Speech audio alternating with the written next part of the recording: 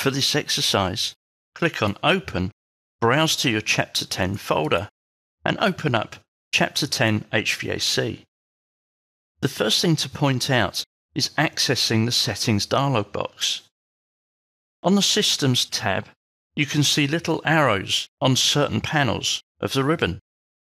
Clicking on one of these arrows brings up the Mechanical Settings dialog. It's also worth pointing out that if I'd clicked on Mechanical or Plumbing and Piping, we get the same dialog box.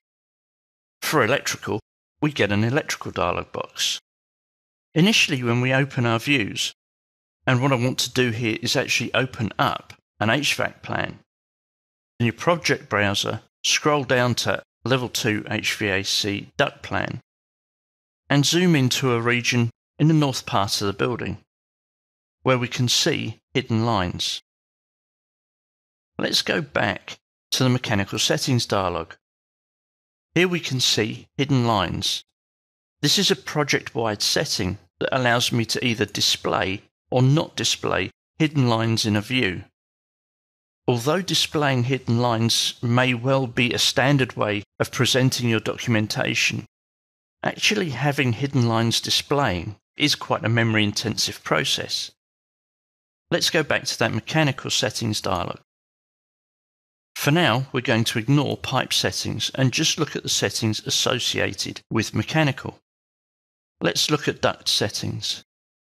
Here we can use annotation scale for single line fittings, which means that flanges and breaks take on the size of your annotation symbols. And here we've got the fitting annotation size. We've got things like air density and viscosity, how we want to see our duct sizes shown for dimensioning, the allowable increment for elbows, and then the standard settings for systems. Take, for instance, supply air. Here we can specify the type of duct, whether it's rectangular with mitered elbows and T's, or round with taps, and its default offset when it's being created using the duct routing tools. This can be set for the systems that you have defined in your project. We can also define the branch settings. We have the same systems, the same duct types, and we also have flex duct. So we have the type of flex duct loaded into your project and its maximum length. We then have sizes for rectangular, oval, and round.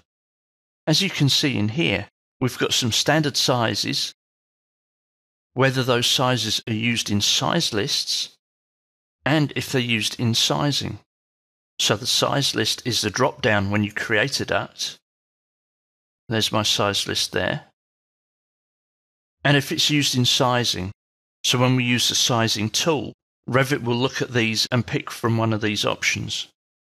As you can see at this point, we can add new sizes and delete sizes.